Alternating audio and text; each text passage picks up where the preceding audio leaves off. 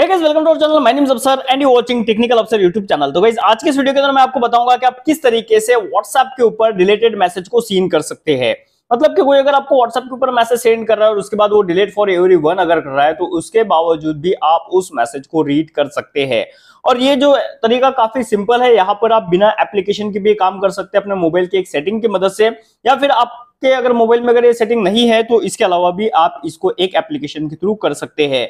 काफ़ी सिंपल सा तरीका है और मैं आज के इस वीडियो के अंदर आपको क्लियरली सारी चीज़ें बताने वाला हूँ तो वीडियो को आप एंड तक ज़रूर देखना क्योंकि काफ़ी ज़्यादा क्यूरियोसिटी हो जाती है ना जब कोई मैसेज सेंड करके अगर डिलीट करता है तो। बट अब आपको क्यूरियोसिटी जगाने की कोई ज़रूरत नहीं है। जैसे कि देखो यहाँ पर मैंने मेरे व्हाट्सएप के ऊपर मैसेज सेंड किया। देन अभी आप देख सकते हैं कि ये आ चुका है मुझे नोटिफिकेशन हाई नाम से।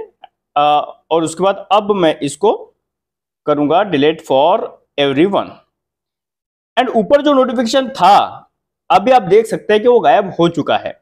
और अब मैं अपने व्हाट्सएप को अगर ओपन करूँगा तो यहाँ पर लिखा हुआ है दिस मैसेज वॉज़ डिलीटेड तो अब हम क्या करेंगे कि अभी हमको ये प्रॉब्लम फेस ना करनी पड़े। तो अब इसके लिए देखो, आपको सबसे पहले जाना है अपने मोबाइल के सेटिंग के अंदर। यहाँ पर जाने के बाद आपको अपने सर्च बार के अंदर टाइप करना है। Notification history notification history and जैसे आप यहाँ पर नोटिफिकेशन हिस्ट्री डालेंगे तो आपको यहाँ पर अगर आपके पास सैमसंग का ओप्पो वगैरह का अगर डिवाइस है तो आपको नोटिफिकेशन हिस्ट्री नाम से एक फीचर देखने को मिल जाएगा, जिसको अगर आप इनेबल करेंगे तो उसके बाद आपको जो भी मैसेज आने के बाद अगर वो डिलीट भी हो जाता है तो वो स्टिल आपके उस नोटिफिकेशन पैनल के अंदर शो करेगा। रेडमी के डिवाइस के अंदर ये ऑप्शन नहीं है आई डोंट नो उसने क्यों नहीं दिया है बट इसके लिए भी हमारे पास एक सोल्यूशन है।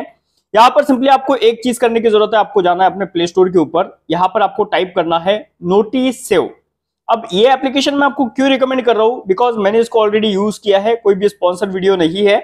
तो ये एप्लीकेशन मुझे थोड़ी एक्यूरेट लगी है बाकी एप्लीकेशन के कंपैरिजन में। और उसके अलावा इसके डाउनलोड्स भी काफ़ी ज़्यादा है, इसलिए मैंने इसको डाउनलोड किया है। देखो, अब हमने इसको डाउनलोड कर लिया नोटिस को एंड डाउनलोड करने के बाद अब हम इसको जस्ट ओपन करेंगे। तो ओपन करने के बाद इसका हमको कुछ बेसिक सा सेटअप करना होता है। तो नेक्स्ट एंड हमने इसको अलाउ कर दिया। जो अब हमारे जो नोटिफिकेशंस है, वो इसके पास आ जाएँगे एंड हमने इसको नेक्स्ट के ऊपर क्लिक कर दिया। अब यहाँ पर हम नोटिफिकेशन नोटिस नाम के एप्लीकेशन को सिलेक्ट करेंगे एंड इसके सभी नोटिफिकेशन को हम इनेबल करेंगे। अगर आपके पास रेडमी का डिवाइस है तो आपको वार्निंग देगा कि भाई ये एप्लीकेशन सारे आपके मैसेजेस वगैरह रीड करेंगी, ये करेंगी, वो करेंगी। तो कोई बात नहीं यार, ये तो रीड करेंगे, इसीलिए तो है। जस्ट हम इसको ओके करेंगे एंड अब हम बैक करेंगे। देखो, हमने बैक कर दिया है। अब हम यहाँ पर इसको फ़ोन एंड मीडिया की परमिशन मांग रहा है, हम इसको अलाउ करेंगे। एंड यहाँ पर हमारी ऐप लिस्ट ये पूरा ले रहा है तो हम इसको भी आने देते हैं। अब यहाँ पर आपको किस एप्लीकेशन के अंदर चाहिए? आप यहाँ पर फेसबुक इंस्टाग्राम ट्विटर कोई भी एप्लीकेशन सिलेक्ट कर सकते हैं तो मैंने अभी के लिए यहाँ पर ले लिया है अपना व्हाट्सएप चलो, मैं सारी ही एप्लीकेशन रहने देता हूँ। हाँ ये देखो, मैंने व्हाट्सएप को भी यहाँ पर ले लिया है। अब हम करते हैं इसको बैक ओके इतना सेटअप करने के बाद अब मैं आपको बताता हूँ कि एप्लीकेशन किस तरीके से काम करती है। तो चलो हमने किया इसको नेक्स्ट एंड यहाँ पर ये बोल रहा है कि हमको एक फीचर और भी ऑटो स्टार्ट का ऑप्शन इनेबल करना होगा।